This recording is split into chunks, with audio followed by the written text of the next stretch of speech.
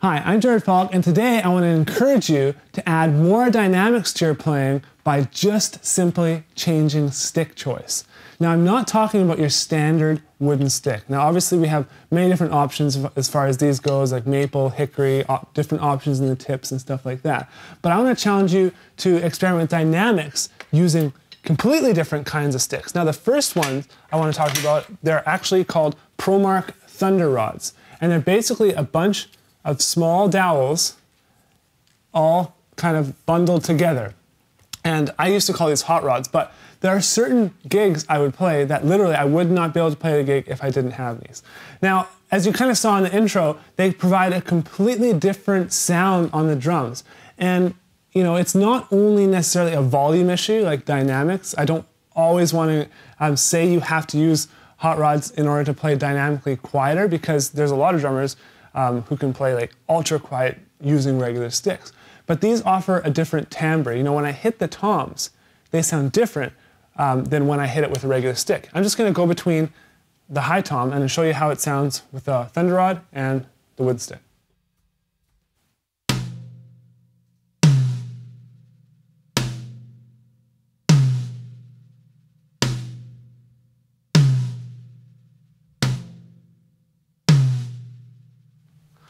And in the same way, I want to show you guys how it sounds to go on the snare from just a regular wooden stick to a thunder rod, and you'll notice a difference in sound.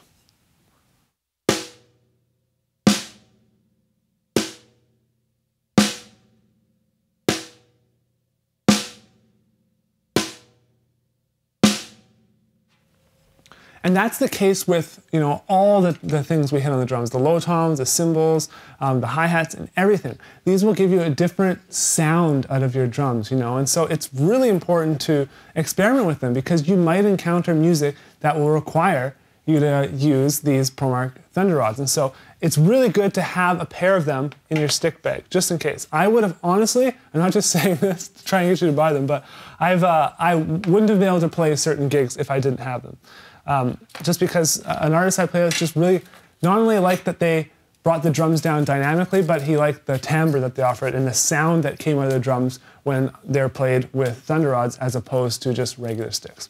Okay, the next thing I want to show you guys are these Promark uh, broomsticks. Now, in the package, they came with this little write-up, and it just kind of talks about who makes them and and why they were actually made. And they're made um, the idea for broomsticks was born when Jack and his wife, blues singer Dee Fisk, participated in a Civil War reenactment. Through researching musical performances of the day, they found that bones or small bundles of broom straw were taken from an old broom were often used to keep the beat. All right, so to learn more about these, you go to hhbrooms.com. But these are distributed and made by Promark, handmade. And I just think they offer like such a cool sound on the drums. So let's go between the sticks the hot rods, and then the brooms, and we'll see how they all sound back to back.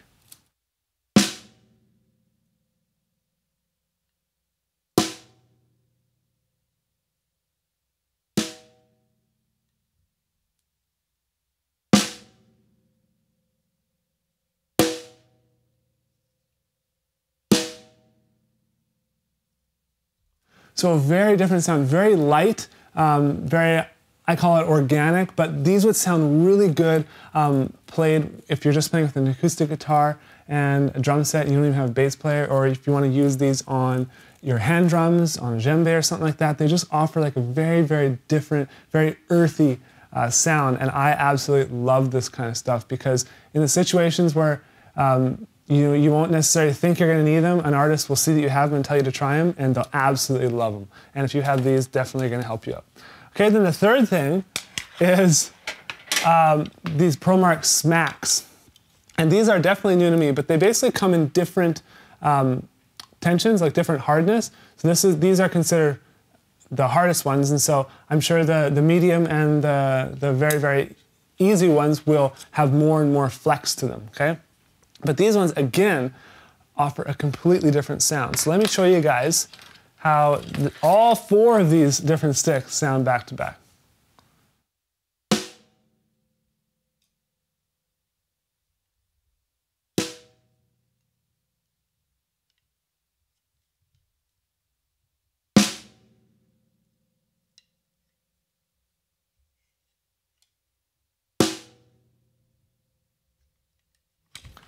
Okay, so again, four different options. I hit the snare drum same velocity, and I'm getting four completely different sounds. And you heard at the beginning, I ran through all these different stick types at the same tempo just to try and give you guys an example of uh, what it sounds like you know, as we move from one to the other. And this is really gonna uh, help you add some more creativity to your playing um, and, add, and you'll do some things that you never thought you'd be able to do or get some sounds in the drum set that you never thought were even possible.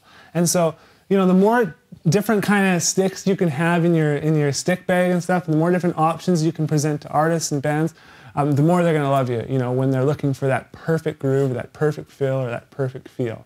All right, so I hope this you know inspired you to just you know be creative, uh, be feel free to experiment with different types of drumsticks, different types of sound on the drum set. You know, we are not limited to just these this one type of sticks, okay? So I really encourage you to just go out to your local music store and check out the different types of sticks they offer. I know you're absolutely gonna love trying this out. All right? I'll see you guys in the next video.